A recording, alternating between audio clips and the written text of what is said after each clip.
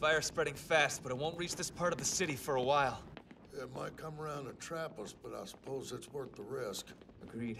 Let's hide here till the fighting stops. Wonder where Ben and Mia went. I sure hope they're okay. I reckon they'll be just fine. Those two are toughens. Hey, wait. I hope they die.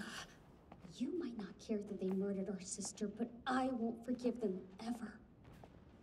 They're evil. I'd kill them myself if I could.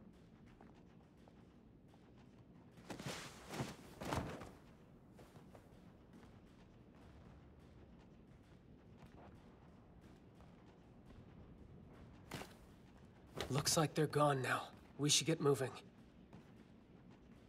Gabi. There were never any devils on this island. Just people. People like us. I see now. I finally get how right it feels. We just mindlessly agreed that even though we'd never met these people, they all had to be devils. Ever since the airship, it's just been the same thing over and over again.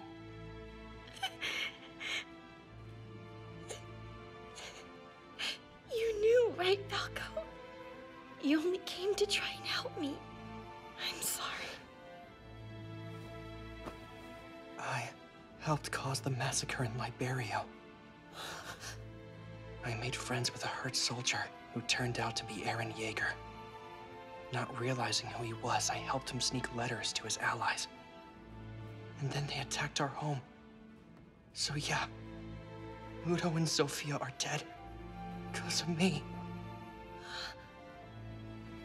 Oh, I see. And also, I'm in love with you. Look, the truth of it is, I only became a candidate for one reason to keep the armor from you. I wanted us to get married. I wanted you and me to be happy together. I wanted to know you'd live a long time.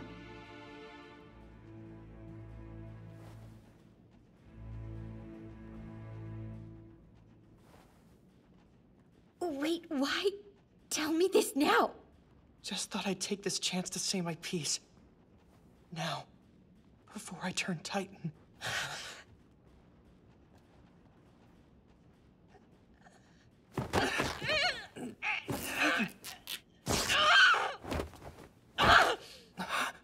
Let's go!